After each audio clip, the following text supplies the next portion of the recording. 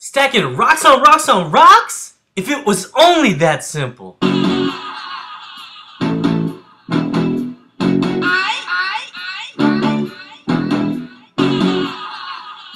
What up all my fish tank ninjas? We got right here is an update. An update on beauty.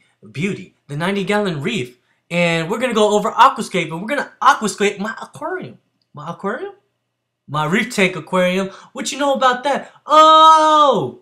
So in this video, we're gonna go over what kind of rock I got, how I got it, why I got it, how I did my scape, why I did my scape, and just a little bit more that I feel like throwing in. Alright, y'all ready? Set, go! In this sexiness, I decided to go with dry rock. Now, there's reasons for this, and I will be making an easy reefing video on live rock versus dry rock. But until then, let me just sum up why I decided to get the dry rock. I did it because my last system actually crashed due to pest.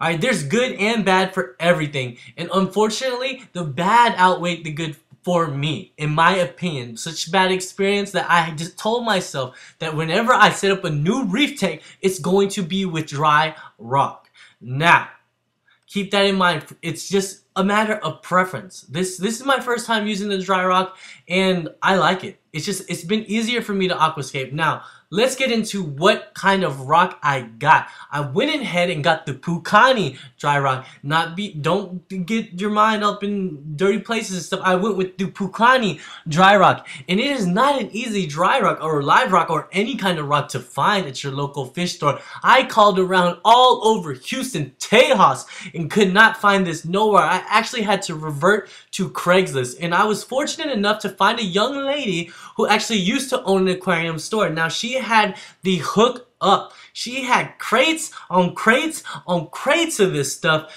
at a very great price. And on top of that, this stuff was clean.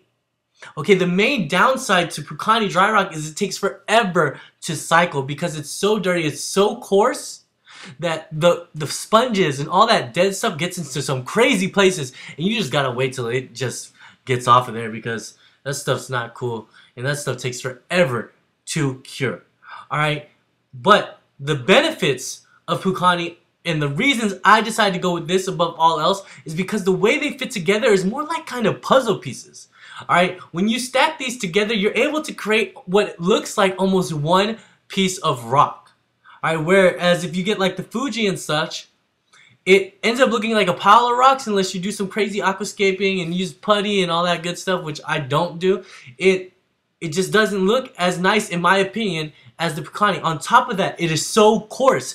The coarseness of this rock allows lots of little areas for your little beneficial uh, organisms to go into, make a little sexy time, make more little beneficial organisms, and everyone is happy. Because when those things do good, your tank does good, and that's what I wanted.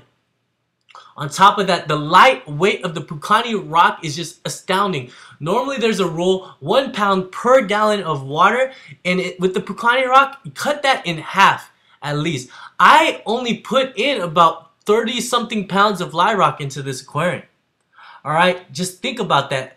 The price is going to be a little bit more expensive per pound, but the amount of rock you actually need pound wise is just ridiculously lower. So in my personal opinion, I saved a ton of money on this. And the thing is, it was so affordable that I actually bought 20 pounds more than I needed just to be safe so I had options. That's how much less this stuff was. Alright, when I decorated this tank, I waited till it was empty. And that's when I decided to start putting the rocks in very strategically. I wanted to create almost a tapered look to the back, uh, back right corner. And then I wanted to create an island in that open spot in the front right corner. Now, I did this, and I did this when all of the, I did this when all of the rock and everything, water, all of that was out because I wanted to create something secure without having to epoxy everything everywhere. Now, I did go with a shallow sand bed on this tank. I was debating between that and a deep sand bed, and you guys can expect an easy reefing video on that also. As you guys can tell, I'm just easy reefing everything up. Guys, welcome to the final scape. And I hope you guys like it as much as I do. I love how it has that tapered look. I love how there's a little island.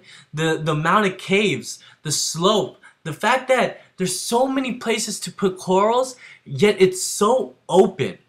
I wanted to keep this as open as possible, maximizing the amount of space for corals as possible so that I can just have the happiest tank on earth. And I think that this is exactly that was in my head and I can't believe that I did this. Guys, check out how everything looks like one piece of rock and you cannot really tell where one rock starts and one rock ends. Now is the waiting game. Alright, the rocks are in the tank, it's filled up, the salinity is right, everything is right. Now you gotta turn off those lights, cover the tank, because we don't want that nuisance algae to get going and be patient. It's going to take anywhere from about a week to four weeks for your tank to cycle, but we're going to go over that in an easy reefing video also. Guys, that's the end of the video. Leave a comment below. Let me know what you think about the scape. Let me know what kind of scapes you like in a reef tank and don't be shy about it. Also hit that like button and don't forget to subscribe. I got videos coming at you two times a week and I promise next Sunday is going to be easy reefing video. A lot of y'all wanted it this Sunday, but I wanted to do a little bit more research before I gave it to you guys. Also, don't forget about my fish tank hooligans. I'm talking about my homie Fishy Drizzy, the Marine dude, and my boy Danny Alano and his new discus from Hannah's Discus or Hans Discus or however you say that. Guys, also don't forget to do amazing things like find Carmen Sandiego. And until next time, tank like a boss. You boss?